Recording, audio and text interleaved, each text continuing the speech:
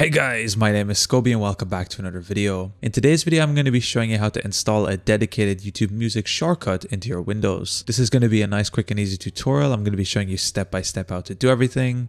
Let's jump right into this.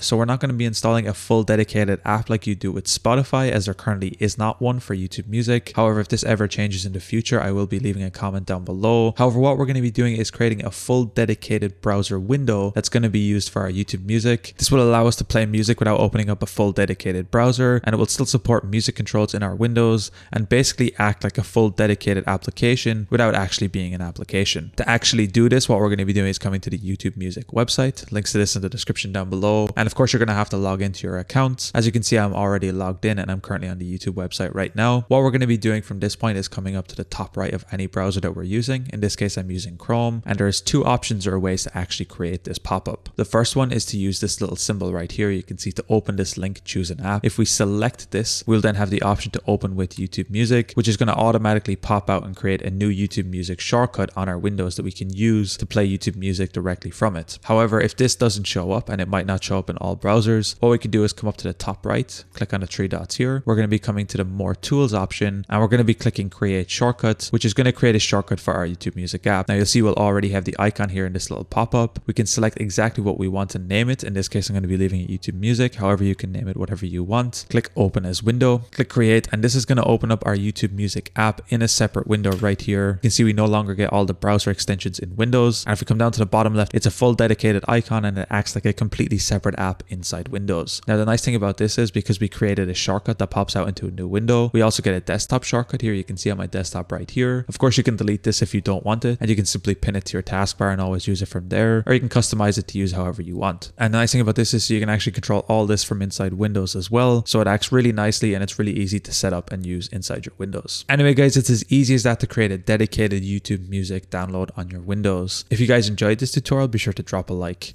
Subscribe if you're new, check out the other videos on the channel. I'm going to be leaving a link down below to my PayPal if you found these videos helpful and you want to support me. Anyway guys, thank you so much for watching. Until next time, as always, keep it saucy. Peace.